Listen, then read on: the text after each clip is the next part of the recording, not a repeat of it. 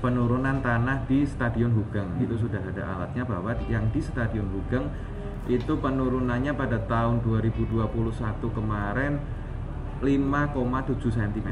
Nah itu di Stadion Hugeng yang notabene dari uh, laut uh, laut pun masih sekitar uh, 3-4 kilo ya, apalagi yang di daerah pesisir. Nah ini uh, makanya di Kota Pekalongan ini rob semakin tinggi ya, mungkin salah satunya juga disebabkan oleh penurunan uh, muka tanah yang yang memang tinggi masih tergolong tinggi di Kota Pekalongan.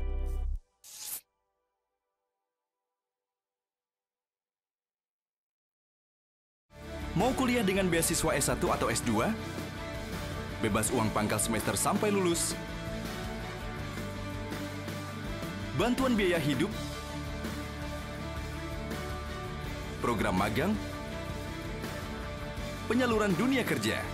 Online Scholarship Competition 2021 di akhir Agustus 2021 dipersembahkan oleh diselenggarakan oleh didukung oleh